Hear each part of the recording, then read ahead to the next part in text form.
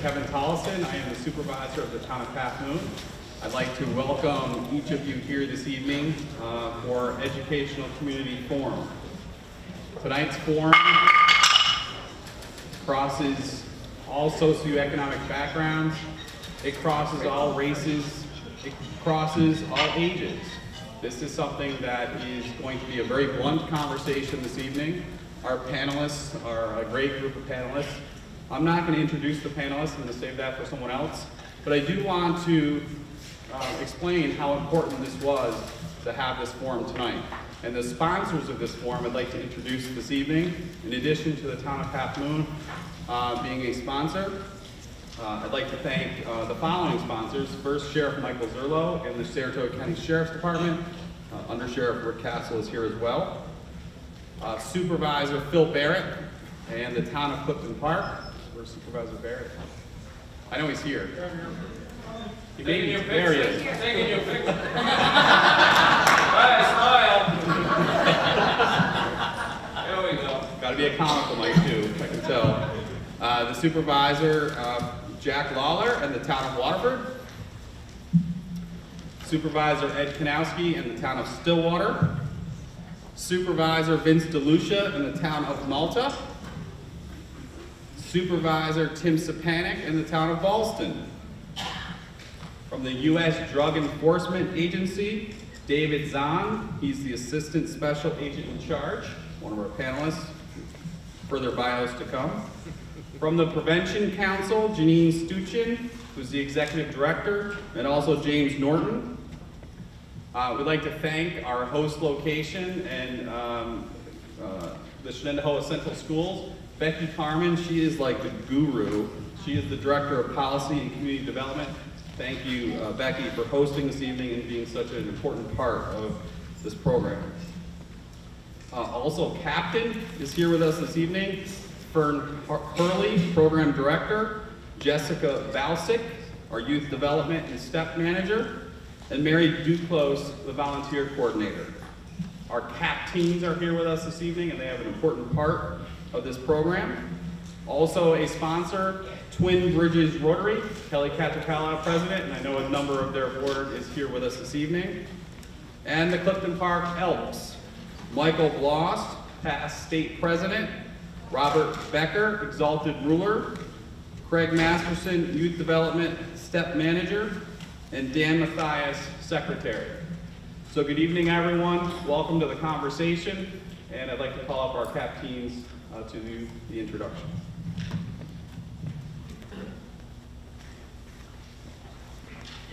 Our first speaker is Sheriff Zurlo, uh, Mike, Mike, Mike, Michael Zurlo, a Saratoga County Sheriff. Sheriff Zurlo is a lifelong Saratoga County resident. He graduated from Mechanicville High School and Schenectady County Community College.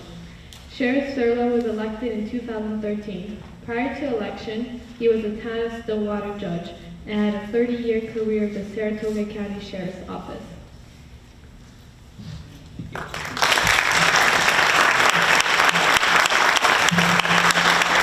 Thank you. Uh, Good evening, everybody, and thanks for everybody coming. This is a great turnout here tonight. Um, You're going to listen to the panelists here tonight. It's very educational. We need to get the message out, and I'll be brief because some of the other speakers here have uh, much more important information to uh, give to everybody. Um, In my 38 years of law enforcement, I cannot recall one other instance where literally every single person I know has been affected by this in one way or the other. We know that the disease of addiction does not discriminate. It does not care if the addicted person is black or white, male or female, lawyer, doctor, or unemployed. It breaks my heart speaking with those who have lost a loved one to addiction. In addition to the grief they feel as a result of a death in their family, they often deal with the added stigma of having lost someone to this drug. As a society, we owe, we owe it to them the compassion and support due any family who has lost a loved one. It is equally important for us to recognize and support those who are beginning the road to recovery, for it's a long, winding road with many potential fatal traps along the way. And lastly, we- must never turn our backs on those who continue to use. We can never predict when that person will finally arrive at the conclusion that they need the help and must be prepared, willing, and able to offer that help when it is sought. My office has taken several steps to become what I hope is a part of a multifaceted solution. This past April, in conjunction with the Prevention Council and the Community Coalition for Family Wellness, three of my members attended the National Prescription Drug Abuse Summit in Atlanta, Georgia. They returned with several ideas and proposals, some of which I'm happy to say we have been able to implement. In addition to the Narcan program, educational outreach, and drug take-back programs, one other program stands out in mind with the assistance from the Certified Alcohol and Substance Abuse Counselors affiliated with Healing Springs Recovery Center in Saratoga Springs. We have begun actively reaching out to overdose victims and their families as soon after the event as possible to make them aware of the resources available to them. While still a work in progress, the program has seen success in in- introducing both families and users, users to this recovery community. We also have taken steps in our correctional facility to assist the inmates in opiate recovery. We now offer MAT, which is medication-assisted treatment to assist in post-release recovery. This has shown to tremendously increase the likelihood of a person remaining abstinent from opiates. While incarcerated, inmates also have access to AA, NA, and the CASAC employed by the Saratoga County Mental Health. While we have much work to do, I'm truly encouraged by the momentum that I've seen and truly tremendous support from the community at large. And we see that here tonight. This is an awesome turnout. I am pleased to see that our legislators, our Board of Supervisors, take an active role in becoming part of the solution. For winning this battle, it's all hands on deck, folks. I am grateful to be here this evening and pledge the full resources of my department to fight this in any way we can. Again, thank you for all coming tonight.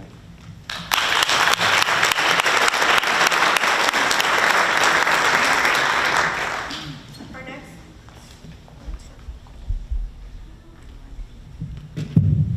Our next speaker is Mr. David Zahn. Mr. David, Mr. Zahn was assigned as the Assistant Special Agent in Charge, ASAC, of the Drug Enforcement Administration, DEA, New York Division, Albany District Office in May 2016. He's responsible for all enforcement and administrative matters involving the following DEA offices across New York State, Buffalo, Rochester, Syracuse, Albany, and Plattsburgh.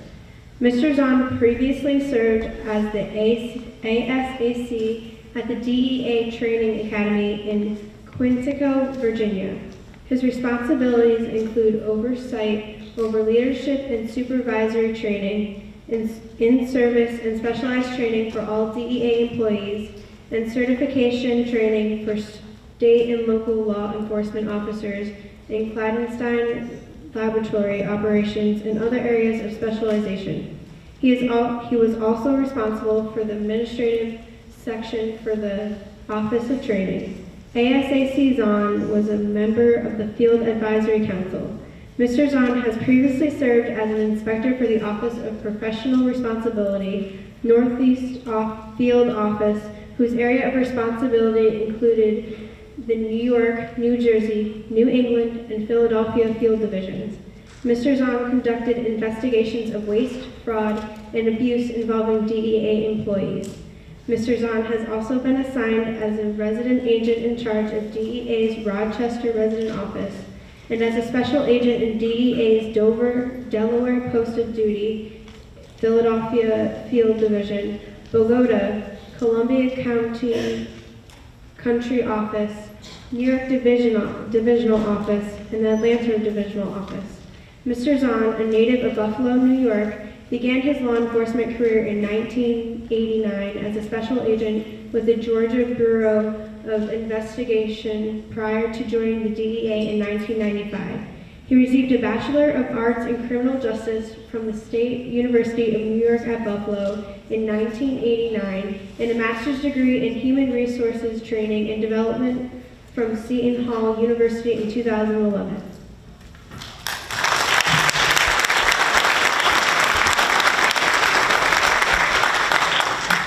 Good evening, everyone. Uh, You'll have to excuse me because I'm not a podium speaker. I like to walk around. So if I could just ask, can y'all hear me back there if I kind of get away from the podium? We good? All right. So how did this all start? Um, probably back in the 1980s. Uh, you've got the medical community, and then you've got the pharmaceutical companies. The pharmaceutical companies said, hey, look, physicians, medical community, we've got OxyContin and oxycodone that uh, you can prescribe for pain medication that's really low addictive qualities, almost next to nothing. So if you look at OxyContin and oxycodone, you can prescribe it to your patients, and more than likely, they're not going to get addicted. Okay? Then we look on the other side. You've got the medical community. At the time, during that time, medical students were taught that pain is one of the vital signs. If they have pain, we got to fix it. How do we fix it? Hey, wait, there's a pharmaceutical company out there that's promoting OxyContin and oxycodone with low addictive qualities that we can give. So you've got the pharmaceutical companies and medical, com- medical communities trying to do the right thing for us. Well, what we learned through the years that OxyContin and oxycodone were highly addictive to the point where today, three out of four heroin users started out with pain medication. So what does that mean? My kids, your kids, you, you go to a doctor's office, dentist office and say, hey, look, uh, I, I've got a, I need a root canal, or I hurt my back, or I hurt something else. Good, wholesome people with good jobs, uh, great standards in the community, and the physician or somebody in medical community says, okay, fine, we'll fix you. Here is some pain medication. And now what happens is, unbeknownst to that person, they're taking the right prescription and they're getting addicted to pain medication. We have we hear stories after stories of kids that are playing sports. They get hurt on the field. They go to the doctor's office. The doctor's office prescribe them an, uh, uh, some sort of pain medication. And as a parent, myself, the last thing we want to do is see our kids suffer, right? So let's go ahead and take care of them. So what we do as parents, we give them pain medication, and slowly but surely, unbeknownst to us, we are creating addicts. So now that person goes back to their physician and says, hey, look, I still need more pain medication. And that physician says, no, you've had your, you've had your fill, I'm not prescribing anymore. Well, that person still needs, at this point, they become addicted. And at this point, that person is now turning to the streets to find more pills. Well, on the street, to get some sort of Oxycontin or oxycodone, you're looking around $30 a tablet, if you can find it. But here's the thing, if you can't find the tablet or that pill for $30, I've got something better for you that's cheaper. Heroin does the same thing for $10. So instead of getting one pill for $30, now you can get three little bags for $30 at $10 a pop. So now what's happening is you're maintaining your, your addiction, you're maintaining yourself the way you feel, because as you may hear later on, when you're addicted, when you start going through withdrawals, you feel like you're going to die. But it's my understanding that you can't die from an opiate withdrawal. You can't die from it, but it feels like you want to. So you start going after the, finding the heroin, going to the streets to maintain your, uh, your, your status with your addiction. So then what happened is that people decided, you know what we could do? We could go ahead and mix fentanyl, which is a synthetic, with heroin. Well, what does that do? One, it kind of breaks down the amount of heroin. So, so if you get a kilo of heroin, you add to it, now you've got more product to sell. So what you do is you add fentanyl to it. And what fentanyl does, it enhances the, the feeling of the heroin. Okay? So to a non-opiate user, somebody who's never tried heroin or opiates, three grains of salt, three grains of salt is a lethal dose of fentanyl. It is, according to the stats, 50% stronger than morphine. 50%. So people are mixing it with their heroin. How do you get fentanyl? What if I told you for a $3,000 investment, $3,000, I can make you $20 million? Like that. And from the comfort of your home. Sound like a good deal? So what happens is that people take $3,000 from the comfort of their home, get on the internet, and they will go ahead and they will email to a location in China where fentanyl is produced. They will go ahead and they will send $3,000, wire the money to a company in China, and while you're sitting here sipping tea, watching your favorite TV show, the doorbell rings and it's the postman or postwoman from UPS, from FedEx saying, package for you. You open it up and it's your kilo of fentanyl. You take that and you get on eBay and you buy a pill press. Yes, you can buy a pill press on Amazon, eBay, any of those companies because there's some people that utilize pill presses for hallucinogenic uses. And you take that fentanyl and you make tablets, okay? And you make tablets out of that kilo of fentanyl. If you sell those tablets from that one kilo at $30 a tablet, you are basically making a net profit of $20 million. But here's the thing. Somebody's gonna die of it. Because again, three grains of salt to a non-opiate user is the fatal dose. So, we've got Narcan, we've got other things that are happening to revive people from their overdose use. And now somebody came up with a great idea, you know, and I'm not claiming to be a chemist, but if we add another little leg to the molecular structure of fentanyl, we can come up with carfentanil. And guess what? That is a hundred times more powerful than morphine. And people will love it. So now they come up with, with carfentanil. And it's only a matter of time that somebody somewhere overseas says, let's add another little leg to that molecular structure and we'll come up with something else. And it'll be a gazillion times more uh, potent than morphine. And that's what's going on in our streets today. So three out of four people started off, three out of four uh, heroin addicts started with pain medication.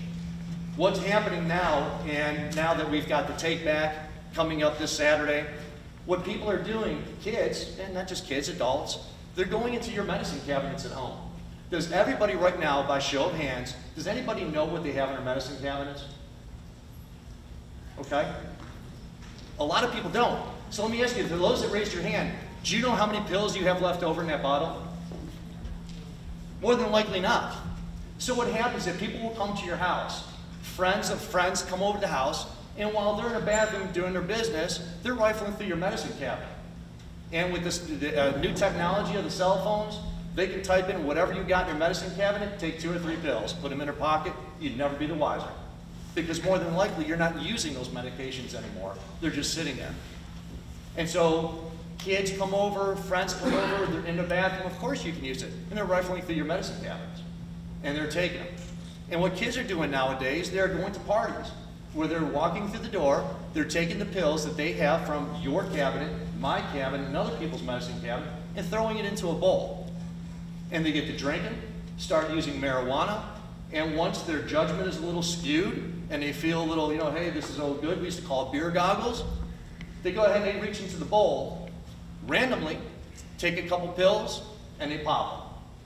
And they go about their business. You go to two or three of those parties, and what's happening is that they're becoming addicted. Well, the one thing leads to another, and they're going out to the streets trying to find those pills.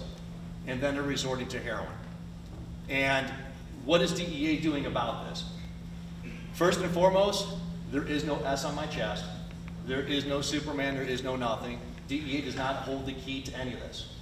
There is no magic key. There isn't. Nobody can do this on their own. We can't arrest our way out of the situation. We can't do anything. Social programs are not going to work on their own. It's a collective effort. And obviously, the folks here in Saratoga County care because y'all are here. We have to do this together. We have to get the word out to individuals to say, hey, look, you know, if you go to the doctor's office, if you get hurt, instead of asking for an opiate or your medical professional wants to give you Oxycontin, oxycodone, so whoa, hold on a second. Is there anything else I can have?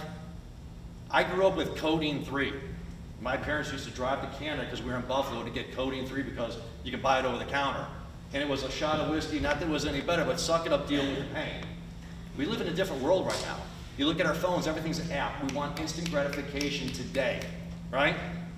So it's changing our mindset. One quick story.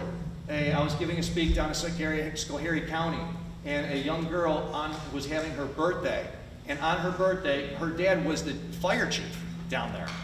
And he admittedly says, hey, look, on her birthday, she got a root canal. I said, wow, you're a loving dad. You're getting Father of the Year award taking your daughter to a dentist to go ahead and get a root canal. He goes, it even gets worse than that. We had a party the next day for her, a birthday party, because she was at the dentist at a root canal. We found her dead in a bath, in a bed, dead in her bedroom. She took one of the OxyContin, oxycodone that the dentist gave her for her root canal, and she had an allergic reaction that killed her. Luckily, her dad, being a, a fire chief, had the Narcan and was able to bring her around. It happened that quick. One pill for that young girl on her birthday. So it happens. So we've got to get into the mindset of getting to folks to say, hey, look, you have to change the way you're thinking about things. It is a one step forward in the program. So then we've got to get with the medical community, which you'll hear from a physician tonight, what they're doing, and talk to the physicians and say, hey, look, instead of giving out opiates right away, why don't we start looking at other things? What can we do? Whether it's through, um, and I always screw up this word, hallucinogenic, uh, like a, a holistic approach, acupuncture, other ways for pain management, instead of turning to this, this pain pill that we're doing. And then in enforcement, we're looking at the people, the people that are ordering things from China, the fentanyl, bringing it into the United States, the folks that are going out there and peddling the heroin out on the streets, and the pills, DEA and law enforcement, and especially with the Saratoga, uh, Saratoga Sheriff's Department, we're going after these people. But again, we can't arrest our way out of it. And then the last thing is the education portion of it. Having forums like this, talking to people, getting to understand, and for us to be available to you and say, hey, look, don't do this, don't do this. You can't, it's not the whole scared straight program. You can't scare people into this. It's not. And the mentality is, is this here. People that were addicted to heroin in the old days, I'm going to go to old school, and I apologize, I don't want to offend anybody, but I want to get my point across because we said it down and dirty. We used to have the mindset that the heroin users were the ones that were under the rocks. They were the people that, you know, in inner cities, didn't happen in my neighborhood. no, no, no, no, no. Didn't happen in my neighborhood. It's changed. It can happen to my kid, it can happen to your kids, it can happen to anybody. People that are addicted to heroin are good people. Uh, just unfortunately, whether it's through pain management or something that happened in their life that they became addicted and they need our support and they need our help. They're human beings. They could be our family members. And we have to change our mindset about the folks that are addicted to heroin. And um, I'm trying to think if there's anything else that I can tell you about it. Um, you know, again, it's got to be a community. It's got to be a community effort. We've got to go out there and do it together. Um, and I'm sorry, I just kind of had a, a, loss for words right here. I'm kind of like scrambling in my head on, on things. But like, I will be here after. If you have any questions or anything during open discussion, I'll be more than happy to answer them to you. And I just appreciate you all coming out here and, and supporting this effort. I really do. Thank you.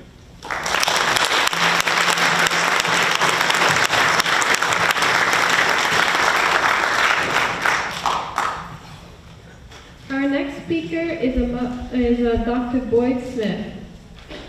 Dr. Boyd Smith is a board certi certified in emergency medicine and medical toxicology. She has written academic papers on the opioid crisis.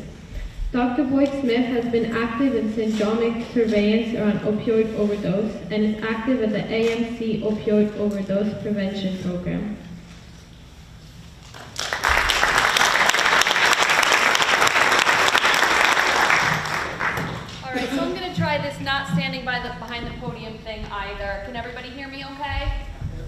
So my name is Molly Boyd. I'm a physician at Albany Medical Center. I'm one of the emergency room doctors, and this morning I had a shift at the emergency department.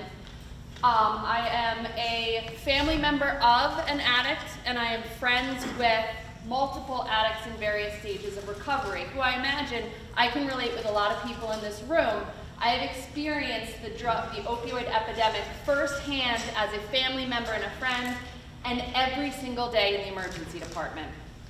It's absolutely true that the opioid epidemic is a re direct result of the medical community and the pharmaceutical communities. and we were all trying to do the right thing.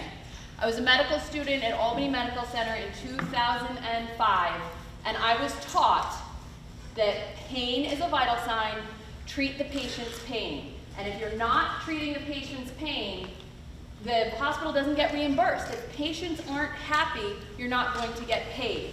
Make your patients happy, make, take care of their pain, and it feels good to help somebody's pain.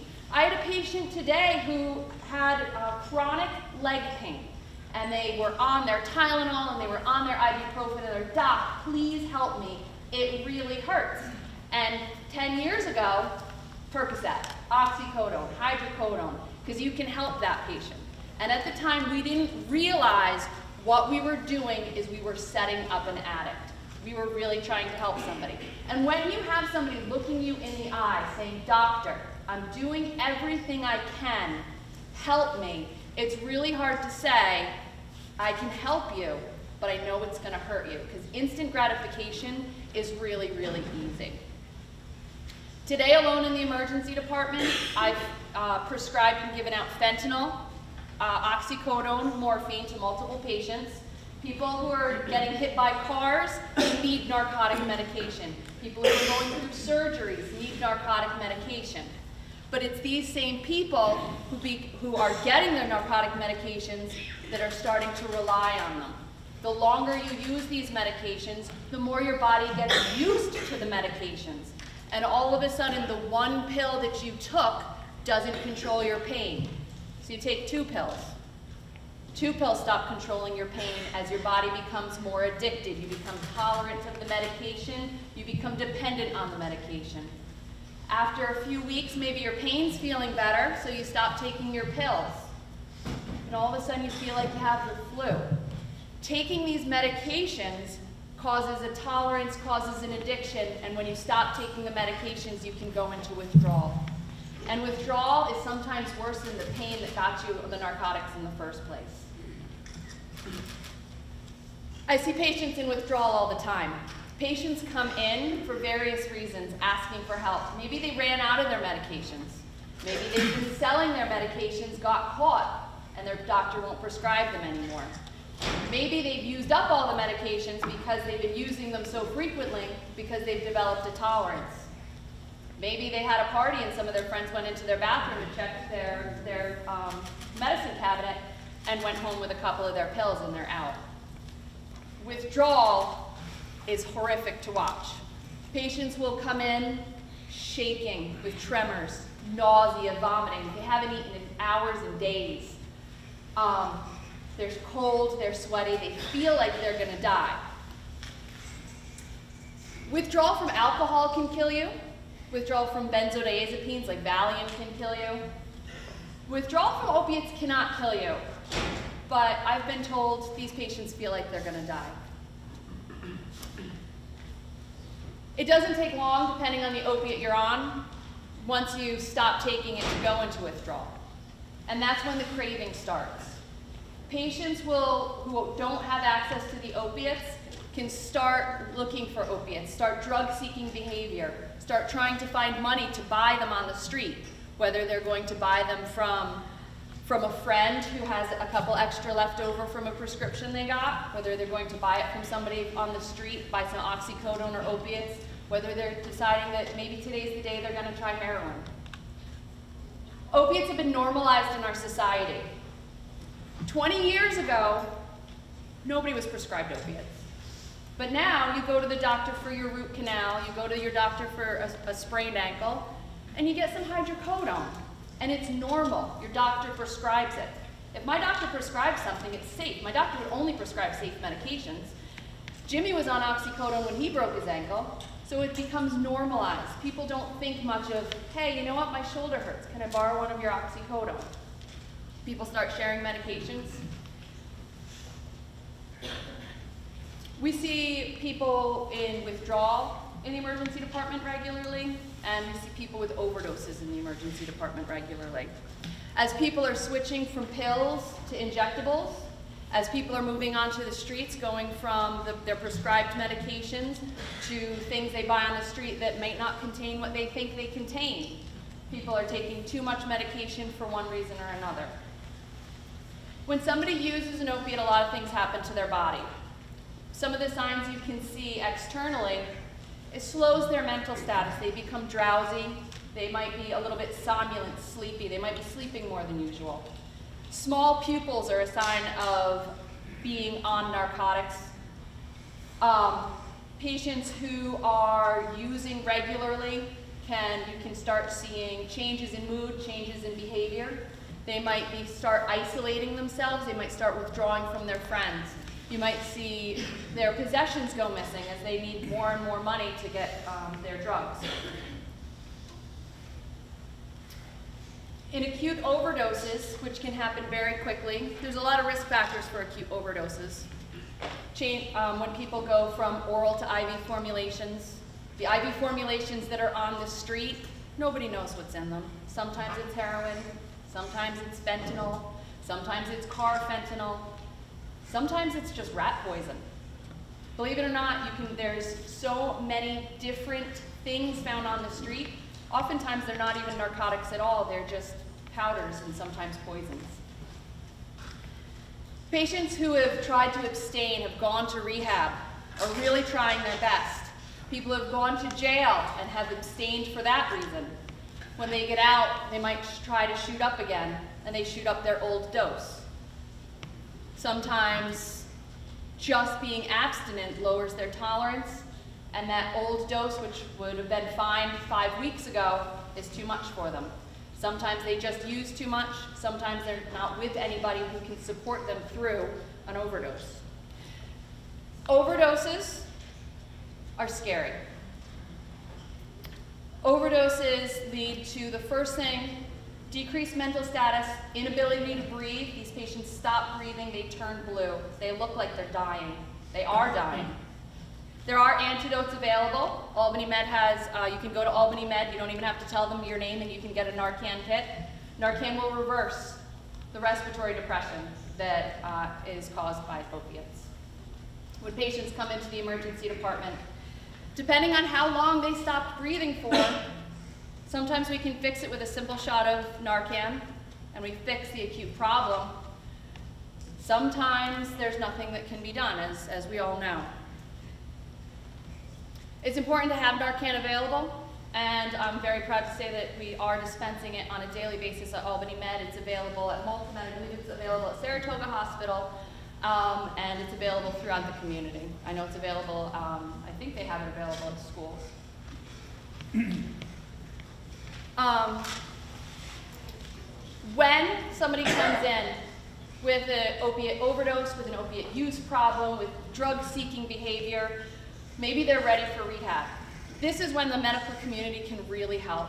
We're starting already to lower our prescribing of opiates. We're starting to use multimodal treatment therapies to help with pain. We're starting to educate our residents to learn how to treat pain without using opiates, how to treat patients with, with other modalities.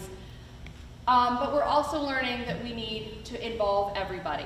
When somebody comes in looking for help, we need to have help available. More and more, the medical community is training addiction medicine specialists like myself and my colleagues to see patients, treat them, help them get the help they need. Buprenorphine or methadone are two options available for medication-assisted treatment, which is shown to improve the lives of many, many patients who are addicted to opiates. people come in wanting help. Um, more and more rehab is becoming available for these patients. But what's very, very important is when somebody comes in, we have to be able to help them. And we ha do have increasing funding for rehabilitation uh, through St. Peter's and through Albany Med. We're, we're working together to enable patients who want help to get help. But like I said, we see it every day. We are, as a medical community, we are learning along with the, our population how to properly treat these patients. It affects every single person's life, and working together as a community, we can help to bring patients the pain relief they need, as well as when there is an addiction issue, we can work together to um, help rehabilitate patients. Thank you.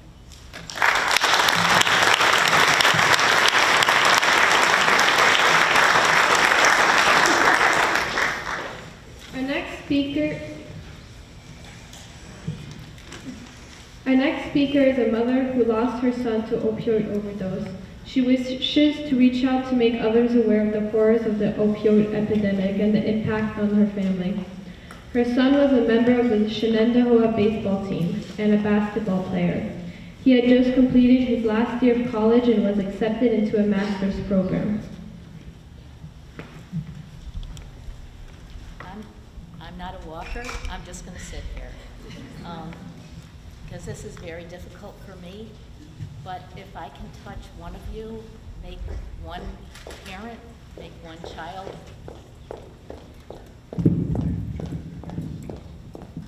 Understand? Um, it, it will be worth it. I have my son at my side right now, and he is guiding me through this. I, I, I just want to say that um, my son, yes, attended and graduated from Shen. Unfortunately, he was never able to actually graduate from college.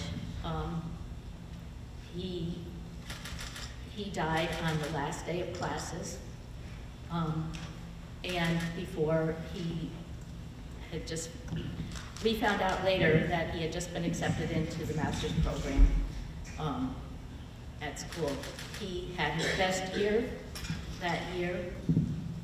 Um, and we had no idea that there was anything going on. Yes, I, you know, I mean, he was, he liked to party. He was the life of the party. Um, but I, we thought that it was more of, you know, drinking and, okay, it's college and all that. That's not the case. I, I, um, I, I knew that there was, you know, he had smoked pot, as everybody thinks that's pretty normal these days and everything. But even with that, from what I understand, you never know what's in that now. And my son, um, this all happened, from what I understand, um, the first time that he had tried it. And he was not, um, according to the officials and everything, he was not a user. He apparently had only, had tried it a couple of times. But this last time, um, actually the cause of death was fentanyl.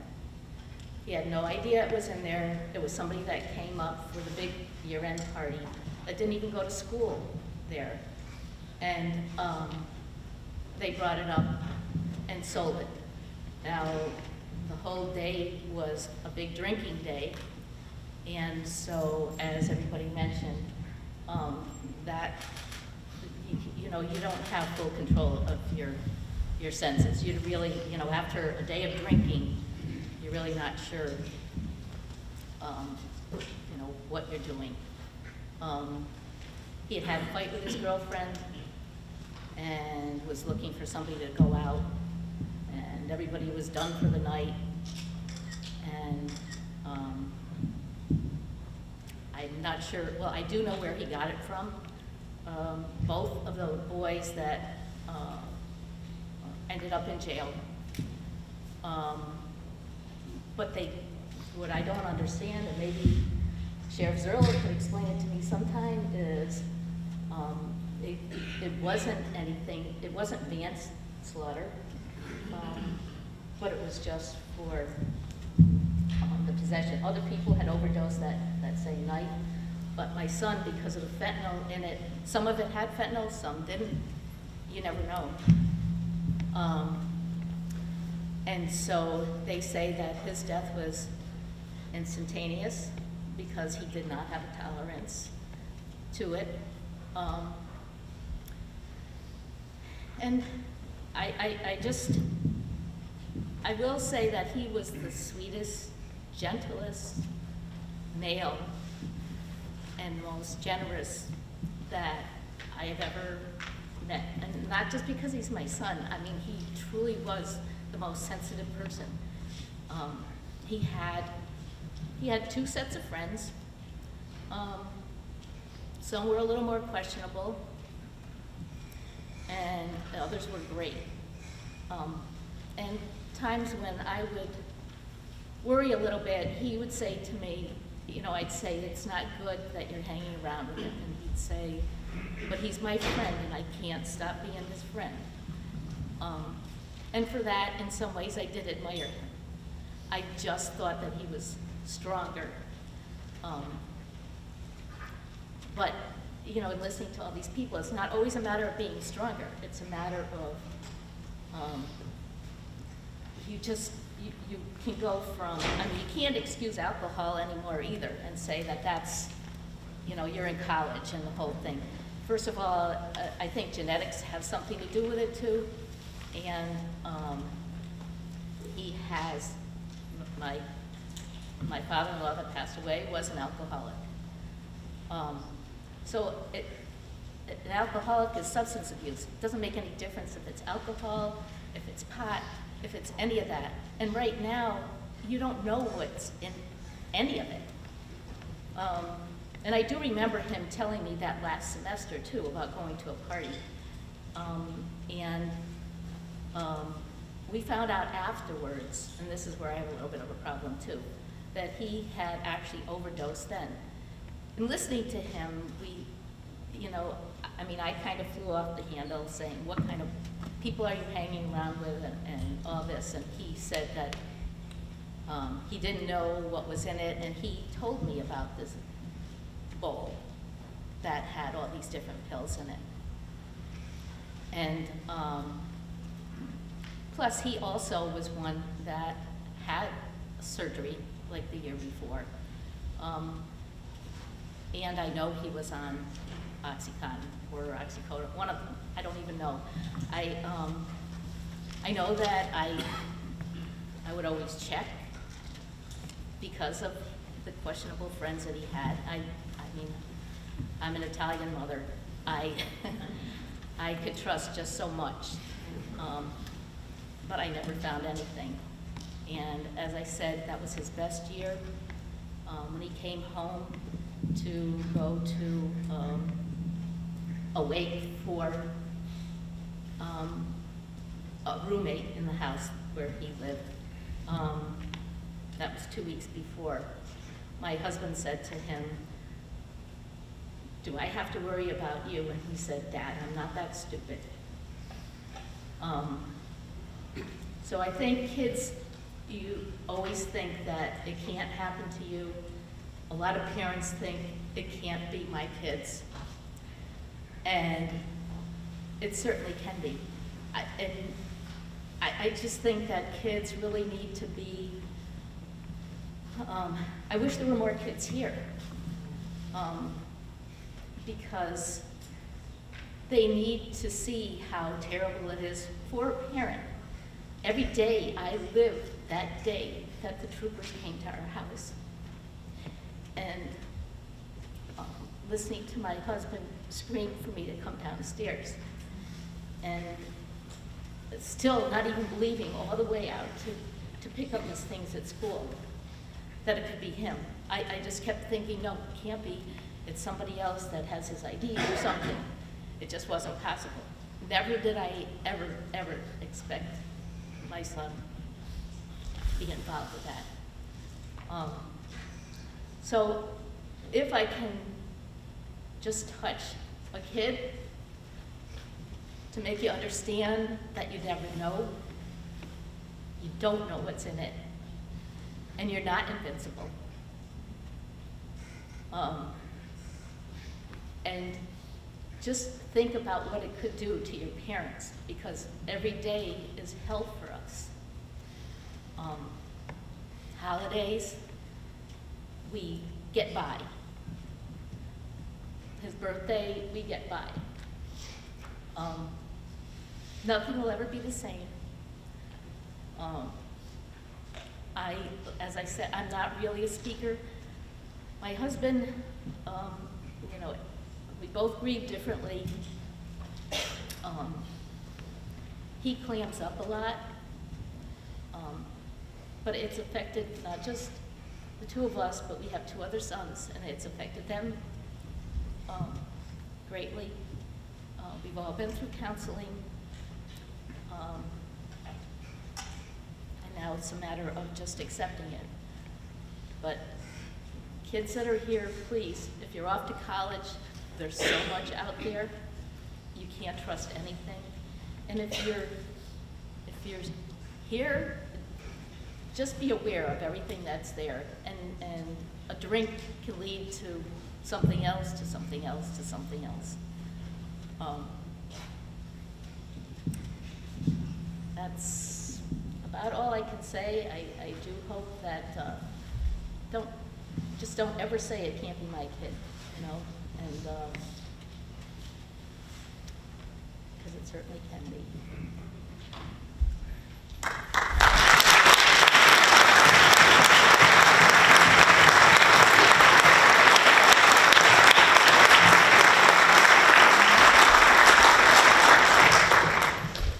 Our last speaker is Jason Burden, former addict, certified yoga CrossFit instructor, peer support specialist, and goal setting expert.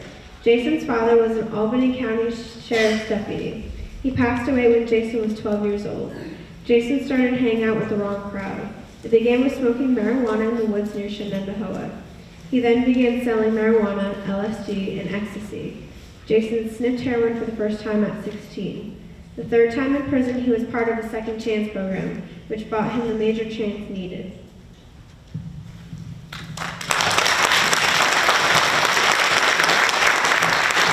What's up, ladies and gentlemen?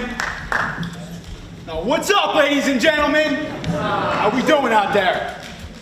I got a lot of names, right? She said my name's Jason Bourbon. State of New York likes to call me 13A5430. State of Connecticut likes to call me 410379. And the state of Florida likes to call me 357622. Anybody here know what a resume is? Pop up a hand. You know what a resume is? You know what a resume is, champ? What's a resume? Uh, it's like, well, like this resume is like colleges Right. Like your degrees and stuff? Check this out. This is my first degree felonies. This is my rap sheet. 43 pages long. Just so you know that I'm qualified up here speaking right now. That I guess where I'm from, buddy? Clifton Park. Grew up on Exit 8, South Central Terrace, Rover Springs. You heard? That's where I'm from. And guess what? My father was a police officer. Yeah. My grandfather was a police officer. And my uncle was chief of detectives in Bethlehem. He's the only one still alive today. First off, I need to thank Sheriff Zurlo, this panel, and especially you. That was great. That was a great message, right? I need to thank every single one of you, but I also need to thank every one of you because you guys are heroes. And this is why you're heroes, because you're in this room tonight to know what's going on. Because this right now is not a heroin epidemic. This is not a fentanyl epidemic. This is an apocalypse. That's right, this is an apocalypse. When I tell you right now that I've been through the ringer, you have no idea. And a lot of people in this room couldn't walk a mile in my shoes. But I had to be there to go, to go through hell to get now to speak to you. Because I just want to touch one kid tonight, too. Maybe one parent that doesn't know what's going on in our community. This is serious. Epically serious. Okay, uh, a couple times, right, in my life I've been scared. All right, I'm gonna get into my story, but I'm gonna tell you guys about really being afraid, right? When I was 12 years old, my father died. At that very instant, right, my mother called me at my Aunt Marie's house. She said, Jason, Daddy died. I was completely alone. My Aunt Marie went to work. My Uncle Bob was at work. My Mim had to come down and get me. Right, that's my grandmother. Old Italian lady, too. Check this out, right? She came down and got me. And I remember that instant that I knew that my rock was gone right? My mother's a strong woman, but my rock, this guy was a pillar of community, man. I wanted to be just like him growing up.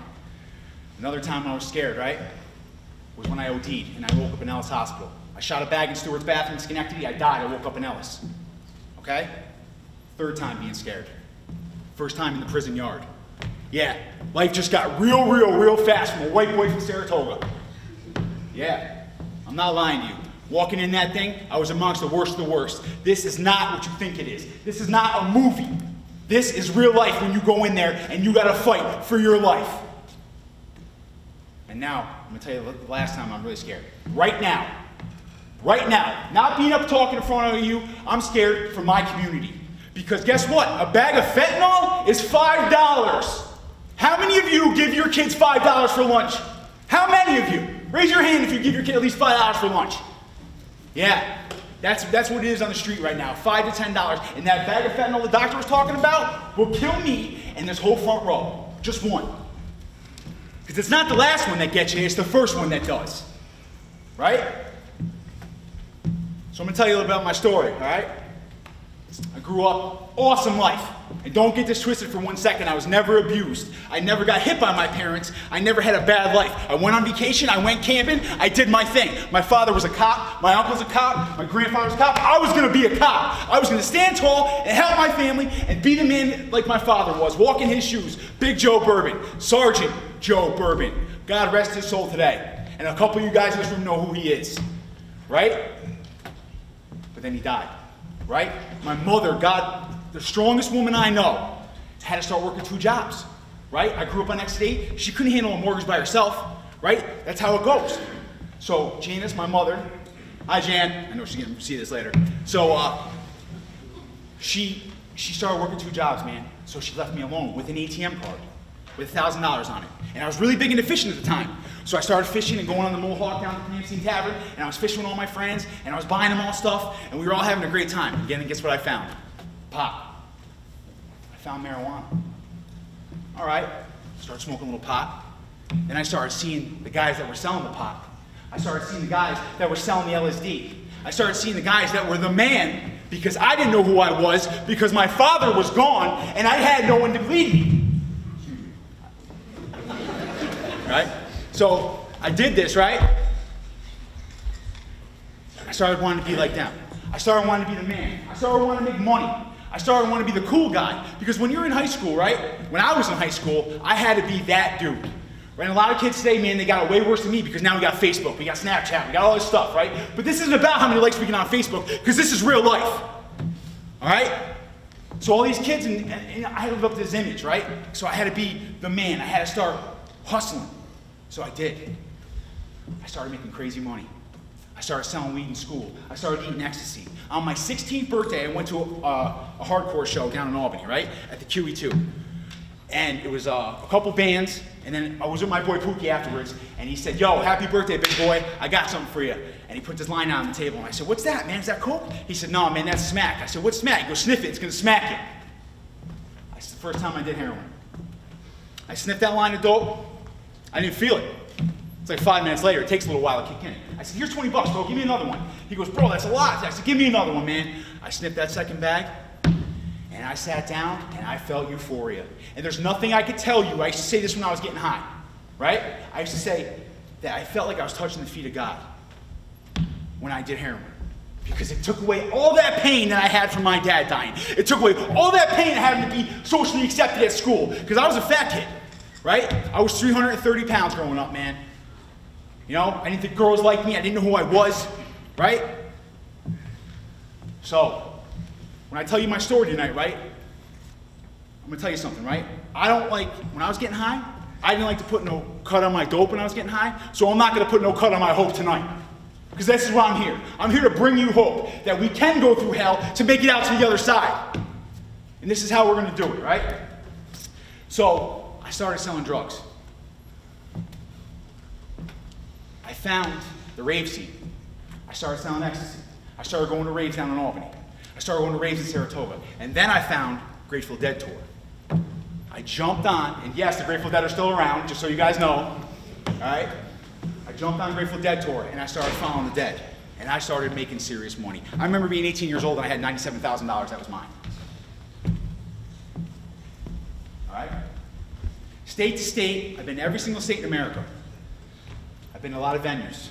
I started doing this. But then something happened. I started slamming dope. And that money started going away. And all I got was track marks out of the whole thing. And all I got was pain. And then I started robbing my family. And then I started robbing my grandmother and my mother. And then I had to start boosting because they wouldn't give me no more money. I had to start going into Price Chopper and walking out with carts full of steaks and taking them down to Albany and selling for half price. I used to have to go steal just to feel better because I woke up dying. When she talked about she didn't know what it was going, going like going through kicking, I'm gonna tell you right now, when a heroin addict is kicking heroin, there's no pain you could possibly ever fathom that hurts that bad. Heroin and benzos. And benzos you can die from. But I remember at points, man, I just wanted to die. I just wanted to lay down and die. I asked God, God, please just kill me because I can't take this pain no more. Not even the pain of the, of, of the kicking, but the pain of the, of the way people looked at me. You should have seen the looks I got walking down the street because people knew that I was a junkie. And you were, you, I always thought you were better than me because I was strung out. All right? And I couldn't get this. And how could I get it? God, help me, help me. Why, why, why has he forsaken me? For real though. You take my father, I should have been this, and now I'm a junkie. So I got arrested, and I kicked in jail the first time when I was 18. But I did not learn my lesson the first time. All right? And I didn't learn it the second time, and I didn't learn it the third time. All right? I did a state bid, just, just to kind of fast forward because I ain't got a lot of time. I did a couple state bids, right? I got arrested, man, and it was cops in this room that arrested me and took me to jail. And I took a picture with a judge tonight. I can't even believe it, right? It's, it's great. I'm like, yeah, dude, I'm putting that on Facebook. Anyways, check this out, right? So, I went to prison, right? And I didn't learn nothing the first time. Only thing I learned how to do was work out, okay? I got released from prison in 2015. I got extradited down to Florida because I had a case down there. I got out. And this is where the story gets good. I got out, right? And I, and I, I, I was like, I'm not gonna go to the Grateful Dead reunion show because it's the 50th anniversary, because I'm on parole and I'm not allowed to leave the state. So I'm gonna be a good boy and work, right? So I didn't go. But I lost my job because I met a girl in a bar where I shouldn't have been because I wasn't being accountable and I wasn't being a man of honor and I wasn't being vigilant about how serious this disease is. Because I never drank. I've been drunk maybe 18 times in my life, really, really drunk, right? I did drugs. But like she said, it's one thing that leads to another, right? Today I have 26 months and 26 days clean. I don't.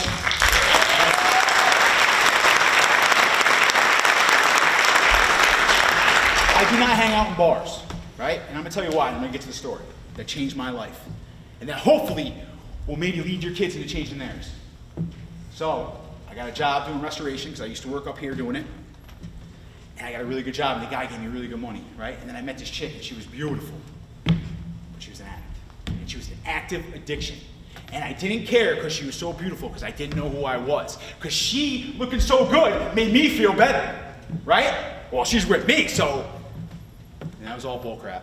Because at the end of the day, she didn't care about. So what I did was this, right? I went to Gathering of the Vibes. That's a music festival in Connecticut in 2015. Okay? Grateful Dead bands are playing. My boy called me. He said, Yo, I got work for you. We're going to make some money. I said, All right.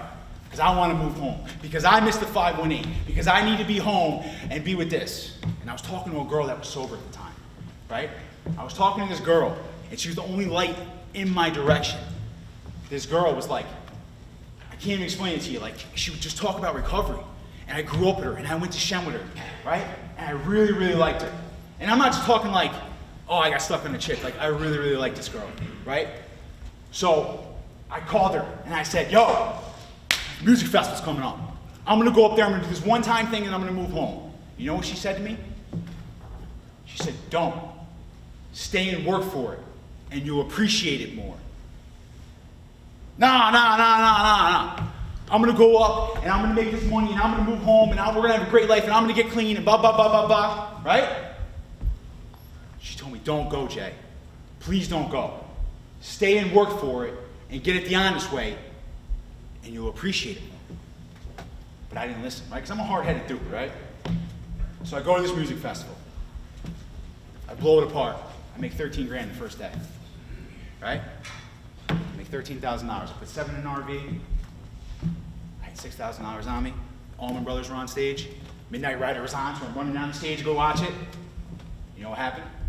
This kid walks up to me. He says, uh, yo, can, can you got doses? I said, yeah, which is LSD? I said, yeah, yeah, I got doses. He said, you got 10 sheets? I said, not on me, you got the money? Right? He says, well, I don't got it all. I said, all right. So I reach in my pocket and I pull it out and I go to feed him and he backs up. I go, oh man, he's a cop. And he was. Right? So what happened was, I got tased, I got arrested, and I got my life saved, is what happened. Because in this prison system in Connecticut, a couple things happened to me, right? Just to go over that, I hate using notes, but I gotta remember some things, because I'm old, right? So, I went through, I went through Bridgeport, and I ended up in Cybulski Prison out in Connecticut. And they had this second chance program in there. I'm like, what's this second chance thing all about? And I didn't play it off. I didn't, didn't even play it no mind. I was just gonna do my time, do some push-ups, eat some food, go home, a couple years, be all right. But then one day, something happened. I started going to church. Right? I never made my confirmation when I was a kid. And my Mim, man, I brought, about, brought her up earlier. She brought me in a room one time when I was in my 20s. I was like 23 years old. And she had this, this little uh, hutch in the dining room. You know how your grandmother's got that hutch with the cards and, you know, need whatever you need. You know what I'm saying? You know, they got everything you need. And what do you need? Grandma, I need a light bulb. Oh, hold on, you know, one of them things. So she goes in this, this, she goes in this hutch, man, and she pulls out this, this card. And it says, my grandson's confirmation. She goes, Jay, she knew I was strung out. She was giving me money to go get high. And my family didn't really know how much money I was taking from her, right? She gives me this card. She goes, I'm never going to be able to give you this card because I don't think you're going to make it. My grandmother had to tell me that. But I, I didn't care because I was strung out. It's not that I didn't care. The disease of addiction had me so rocked, had me so tight. The devil had me pulling me down. That was like another day, right? So when I went through Connecticut prison, I started feeling these feelings again. And I remember my grandmother saying that to me. I remember her saying, I'm never going to give, you this card, I'm never going to see my grandson make his confirmation. So I started going to church. I got with this deacon, Mike, right? He said, yo, we give out confirmation here. I said, all right, good, I'm getting it, right? And then I started seeing addicts in the room that were 50, 60, 70 years old. They didn't have a ramen soup in their locker, and they weren't calling home because there was nobody left to call. And I stood up one day and I said, I am not going to die in prison. Let me repeat that. I am not going to die in prison. Right? So what I did was, I went to the second chance program. And I started to change. And I started to change my thinking, so I changed my life. Right? So what I did was I got involved. I became a peer mentor while I was in there.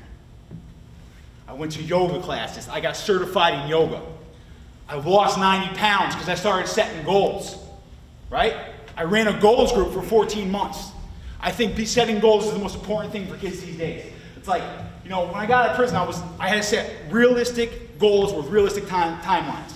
I wasn't gonna get out and be like, oh, I'm gonna marry, marry Taylor Swift. That's just not gonna happen. It's not an achievable goal, right? Especially because Selena Gomez are texting me on the way over, and that's her best friend. Right? Just kidding. Anyways, so I started setting these goals. I started running this goals group. Guys were getting up on their own time on a Sunday morning at 9:30, and we were setting achievable goals with achievable, achievable deadlines. Talking about getting their kids back. Talking about doing the right thing in the community. And when I was in the second chance program, I said, I'm going to get out and I'm going to talk at my high school. I'm going to get out and I'm going to talk to these kids. Guess what? I just achieved that goal tonight.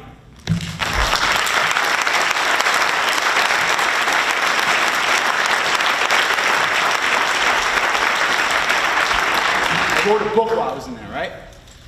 But what else did I get sober for? That girl. Remember that girl I talked about? Yo, this girl, the sober girl, I kept writing her and writing. Some people find their thing, man, whatever your higher power is at the time. I kept thinking about this girl, right? Because I knew that I, I knew that I, if I didn't get clean, that I, I would not have that. But I knew that if I did get clean, I would never have to lose something I loved that much again. Yeah, it was that real, right? So I kept doing what I was supposed to be doing. I kept doing burpees. I kept going to CrossFit class. I kept going to yoga. I kept speaking at the DWI program with my counselors. I kept doing speak outs like this in the morning meeting. I kept vigilant. Because to achieve something you never achieved before, you must first become someone you've never been before. So I had to change my thinking, right? And they say this truly great men and women are known for having high levels of integrity. They live their lives consistent with their highest values and principles, especially when no one's watching. Right? Mediocre men, on the other hand, and women, are always cutting corners and compromising their integrity, especially when nobody is watching.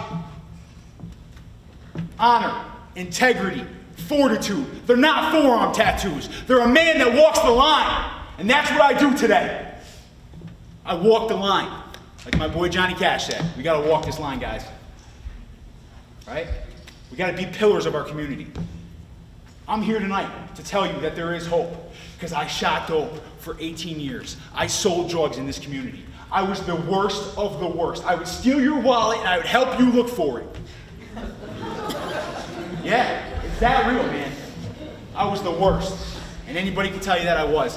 Mikey tried to arrest me six, seven times, just couldn't get me. That's how it went. You know what I'm saying? Other boys in the room did. When he's a detective, I was flying on him, right? So I'm gonna tell you this, right? I love every one of you guys. And I want you guys to know something, man. It doesn't matter where you're coming from. All that really matters is where we're going. There's recovering addicts that are still struggling. Do not step on them when they're down. Do not have your kid in the car and be like effing junkie when you're going by. You're boring me. Because last time I checked, there's only one ultimate authority. All right? This is how we got to do this together, man. Because there's no you, there's no me, there's just us. That's why I'm up here right now. Because we can't do this alone. We will fail. And but if we get together and we lose a couple battles, it's all right that we get knocked down as long as we keep up, keep, get up and start fighting again. Because that's what we got to do for these kids, for your children, for our families. When I was in Connecticut, I lost my cousin Katie. Okay? I lost my cousin Katie Patnoy. She was a lawyer, right? She had MS. She started taking pills. I couldn't go to her funeral. She OD'd on fentanyl while I was locked up. I got to have this Christmas with her, her, her, mother, her sister, and her father, right? I got to have this Christmas, and I never get to hug her again because of choices I made. But I know she's with me right now on this stage. I got to go to a funeral tomorrow for a kid that OD'd on Sunday that I grew up and played Shen football, right? 35 years old, lost his life for a five-hour bag of fentanyl. Guys, we need spirituality. If we don't have spirituality, we're done. And I'm not talking about religion, man. Religion is for people that don't want to go to hell. Spirituality is for people that already been there. Already been through hell. All right? And I'm going to tell you this, man. Ladies and gentlemen. I'm going to tell you a story and I'm going to wrap this up real quick. There was a guy, he was walking. He was walking through the woods. He was walking through the woods and he was lost. Right? And he fell in this hole. And he was down in this hole for years. It was like 30 feet deep. There was mud. He couldn't get out of it. He's eating bugs and drinking the water off the ground to stay alive. And he's screaming for help. He's screaming for help. Please help me. Finally, a guy comes walking by. He's help. And the guy jumps down the hole with him and he goes, Dude, I've been down here for years. What are you doing? He goes, Follow me, man. I've been here before. I know the way out. I need you guys to follow my lead. Follow the sheriff's lead. Follow these people's leads to help our kids come together because we will not do it alone. Maybe there is a God above. But the only thing I ever learned from love was how to shoot somebody that outdrew you. And it's not a cry that you hear at night. It's not somebody who's seen the light. It's a cold and it's a broken hallelujah. I'm Jay Bourbon, man. I love you guys, man.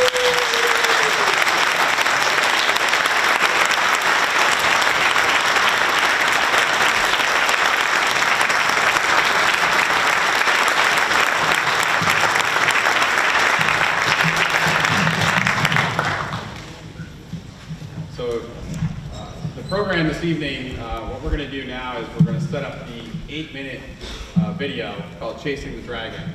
We're going to take questions and answers after. So we'll allow you to make uh, public questioning afterwards for our panel. Also, if it's something privately you want to discuss with a panel member after, they will be here uh, and you can talk to them privately. But uh, I think we had an awesome panel this evening. Let's say a quick thank you.